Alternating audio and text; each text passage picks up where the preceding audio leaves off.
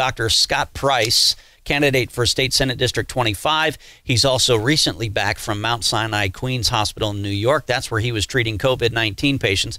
And, and I said earlier this morning, we, you know, when we caught up with Dr. Price, from uh, New York. Uh, he was on a brief break while treating COVID 19 patients, and that's when we chatted with him here on this show. And, and the, of course, the best question that morning came from a caller, as, as always happens, right? Uh, the best questions don't come from me, they come from you.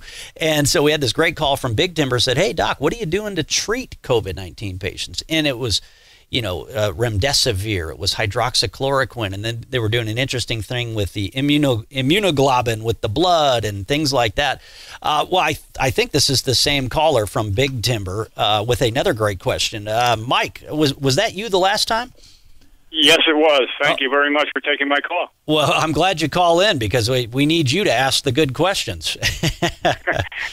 well, thank you very much. The question I had for the doctor was what um, percentage of the uh, people that he treated were they young uh, were young people, people of school age, because they don't want you know the kids to go back to school. And from what I'm reading and uh, hearing, the uh, young people aren't affected uh, nearly uh, anywhere near the uh, older folks. Is it, and did he treat any of these young folks? And the second question is, and I'm not trying to sound uh, uh, snarky here, but uh, is he going to pay the taxes that Governor Cuomo wants uh, people to pay that came in from out of state? Yeah, hopefully, yeah, New York is going to try to try to, to punish the people who came in to help. By by, I, I remember seeing that. I don't know if he's still trying to force that or not. But anyway, two great questions there, Mike and Victor. Yeah, Dr. Price. First off, on the taxes, let's get the easier one out of the way first. Are you are they going to try to force you guys to have to pay New York taxes even though you went in to help them? Well, if, if they're going to give me money and they want me to pay a tax, I, I, I guess they can ask me to pay a tax. I'll have to do so. Give well, me some money and let me see. But um, uh, as far as taxes, I mean, I I believe if somebody wants to tax me, that's fine. They could tax me. Um, but uh, I'm I'm not too concerned about that one. Uh, what I went to do was simply a service to the community.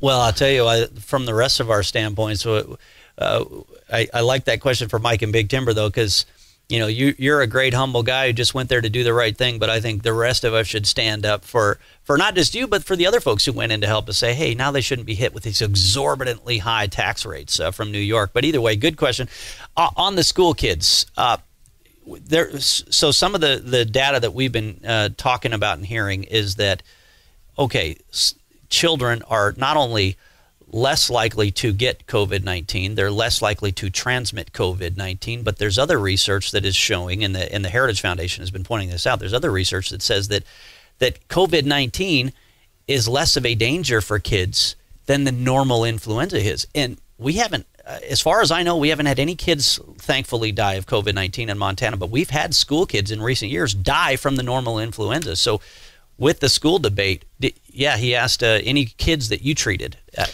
So I am a uh, adult medicine doctor, an internal medicine physician. So when I was the admitting physician in the emergency room, I took care of adults. However, uh, Mount Sinai Queens takes care of all people, including there were pregnant mothers and there would be children uh, that would come through. But I never once saw a child admitted for COVID at Mount Sinai Queens when I was there. I didn't even see teenage people uh, being in the hospital for COVID. And probably the youngest person that I was caring for would be in their 30s. So, not even what we would normally consider the college age. Uh, Dr. Scott Price, again, thanks so much for sitting here with us uh, uh, this hour of the show. We talked a lot of COVID 19, uh, things like that. But hey, you're running for the state legislature. Of course, there's going to be a whole host of other uh, topics that are going to come up. You, uh, I asked you, what are, what are you hearing about when you go door to door talking to candidates? And, and you'll go, you'll have your mask ready. If people want, want you to wear the mask, you've got it. Um, or if they just want to talk to you face to face, you're ready to do that as well. But you said two big issues this whole defund the police nonsense comes up a lot, and then land and access. You know, people with four wheelers that want to get out and enjoy the uh, public lands and feel like they're being shut out oftentimes. Uh, so let's start with the uh, with uh, uh, the first one: defund the police. You're hearing about this a bunch, huh? Yes, and uh, just like we're a little bit isolated from COVID, we're also isolated from a lot of the other nonsense that's occurring in Portland and other places. And that we, by and large, have a really nice population. We have fabulous people that live in Montana.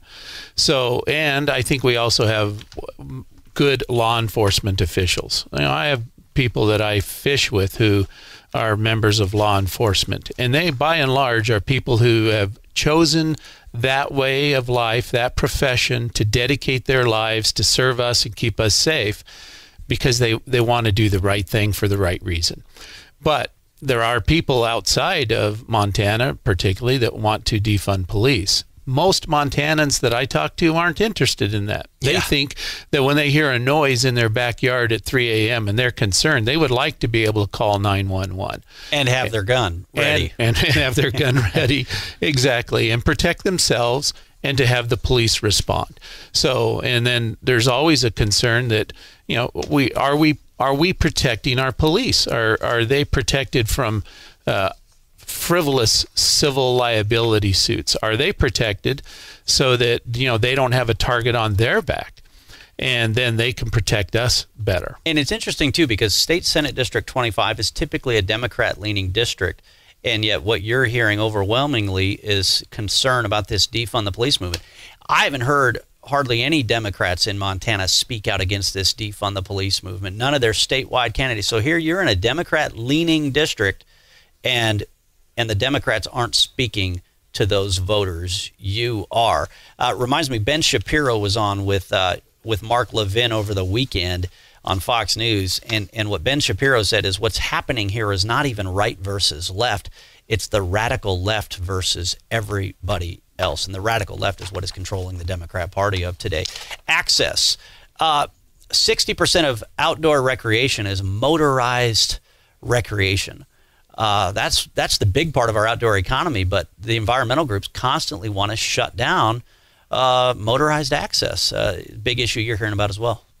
Yes. Well, obviously there are certain places we aren't going to have motorized access. You're not going to have it in the Beartooth Wilderness, but where our the national forests uh, have a gate and a chain across it. When you know what harm are you going to do to go back in there? I would like to see that people have opportunity to access this beautiful place that we call home here in Montana. Our mountains, our streams, our lakes that are back where, you know, maybe somebody can't hike in there anymore, but they certainly could take their their four wheeler back in there. I, I, I, would like to help support that and see that they have that opportunity. Yeah, or you still want to go elk hunting, but your your bad back can't haul it for a few miles, or you know whatever uh, give some options to folks like that. Well, Dr. Scott Price, great to have you on the show here. Thanks again for taking so much time out with us.